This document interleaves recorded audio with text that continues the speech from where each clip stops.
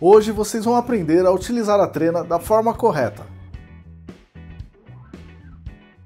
E aí, robistas, eu sou o Fábio Tomás do canal FTH Marcenaria. Esse é o primeiro vídeo da playlist Ferramentas.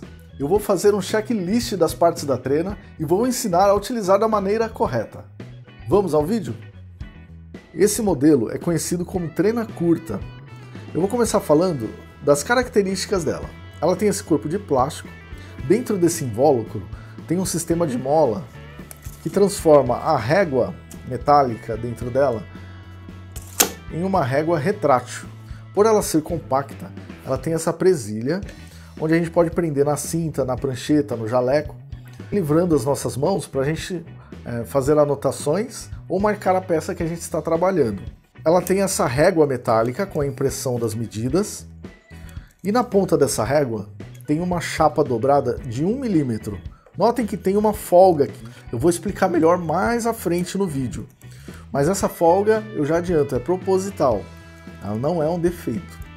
Acima da saída da régua tem um botão de arraste. Esse botão de arraste tem duas funções. Travar quando a régua estiver voltando de uma medição mais longa e evitar acidentes. E mais uma vez, travando a régua, a gente é, tem as mãos livres para fazer anotações e marcações na peça. Agora eu vou falar sobre quatro curiosidades da trena. Você já notou que a fita é curva? E já se perguntou por quê? Justamente para enrijecer a régua. Essa curva tensiona o material e ele, e ele, fica rígido. Então se eu pressionar aqui, ó, pode ver que ele não dobra. Né? Se eu fizer uma pequena força aqui, ele não dobra, só se eu forçar muito e isso facilita no manuseio da mesma. Então eu posso virar para lá, virar para cá, é, sem precisar usar as duas mãos para isso. Na ponta da régua metálica, ela tem essa chapa dobrada de 1 milímetro de espessura. Lembra que eu falei que eu ia comentar da folga? Essa folga é proposital. Ela serve para a gente executar medidas internas e externas sem ter que acrescer um milímetro ou diminuir um milímetro na nossa medição. Então essa chapinha aqui na ponta já faz esse trabalho para a gente. Eu vou pegar uma gaveta para exemplificar. Vamos supor que eu preciso das medidas internas da gaveta. Eu vou pressionar a, a régua metálica contra essa chapinha e a extremidade da gaveta. Então ele vai eliminar aquele espaço que tem entre a chapa e a régua, uh, contando um milímetro da chapa metálica dobrada ok? Agora, se eu for fazer uma medição externa, eu vou puxar. Né? Quando eu puxar, ele vai acrescer um milímetro aqui, que é justamente a folga. Então, quando eu chegar do outro lado da, da gaveta, como eu disse, eu não vou precisar crescer um milímetro aqui, porque a folga dessa chapa na ponta já fez esse trabalho para mim.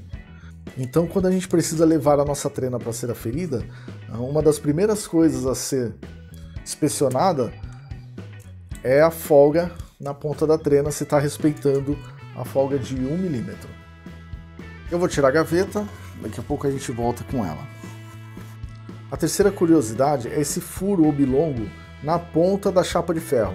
Vamos imaginar que a gente está sozinho fazendo uma medição de uma peça grande ou de uma área grande. Então a gente vai utilizar um prego ou um parafuso fixando no ponto inicial onde a gente precisa executar a medida e a gente vai travar a cabeça do parafuso ou do prego aqui, ó, nesse furinho.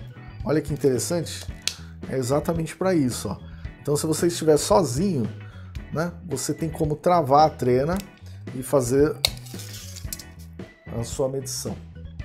A quarta curiosidade, onde muita gente erra no uso da trena, é a forma de se medir o interior de um móvel ou um vão uma, entre uma parede e outra. O que, que a pessoa faz? Ela encosta certinho a ponta da trena e pressiona a régua contra a chapa de aço, mas na outra extremidade a pessoa dobra a trena. Vou tirar a mão aqui para vocês verem, ó. A pessoa dobra a trena. Aí o que, que acontece?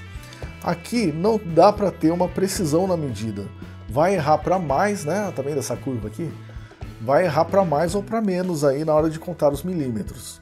E o que muita gente não sabe é que na no corpo da trena aqui vem especificado a medida é, dessa capinha de plástico aqui, a medida que a gente tem daqui, ó, onde a gente está vendo a chapa de ferro parada aqui, até as costas dela. Vamos ver como que funciona?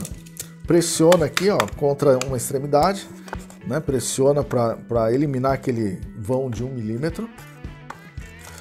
E o corpo da trena encosta na outra extremidade. Então, eu vou travar aqui, ó, para a gente observar melhor. Notem que a medida que está ali, ó, bem na saída, é 24 centímetros, mais 2 polegadas e 3 quartos. Né, tá, é o que está especificado aqui, é o tamanho. 2 polegadas e 3 quartos é exatamente 7 centímetros. Então a medida interna dessa gaveta é 24 mais 7 centímetros, no caso 31 centímetros. Viu que bacana? E aí, aprendeu algo novo nesse vídeo? Agora quando você precisar da sua trena, você sabe que você vai usar ela muito mais e melhor. Então se você gostou desse conteúdo, deixa um like. Se tem alguma dúvida, passa lá nos comentários, de repente a sua dúvida vira material para os próximos vídeos. Esse foi o primeiro vídeo sobre ferramentas, vai ter mais entre um projeto e outro aqui na marcenaria, então se você não se inscreveu ainda, se inscreve para receber nas notificações e não ficar por fora de nenhum conhecimento. Valeu, obrigado, até o próximo vídeo.